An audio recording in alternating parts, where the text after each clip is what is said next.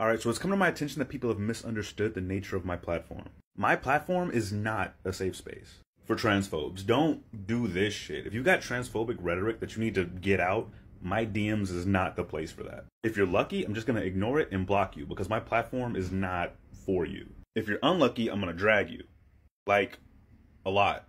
Then I'm gonna post it so that everyone can learn from your mistake.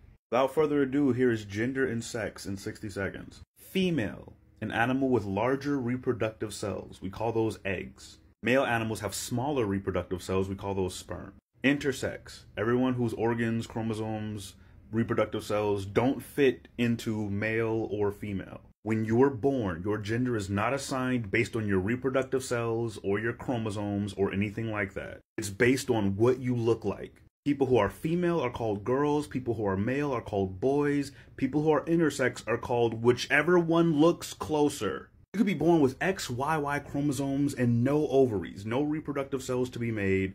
And if the doctor said that looks like a girl, you're a girl now. And if that's how you identify, you would grow up to be an intersex woman. Even though you do not fit the definition of female, you would still be a woman because that's how you would identify. Because girl, woman, social words, not biological words. You're not a woman because of your cells, you're a woman because you know you're a woman. Trans women are women because they know they are women. Time. Does that make sense? This idea that trans people are erasing womanhood, it's bullshit. Womanhood has not been the same across cultures or time ever. There's never been a universal consensus for womanhood.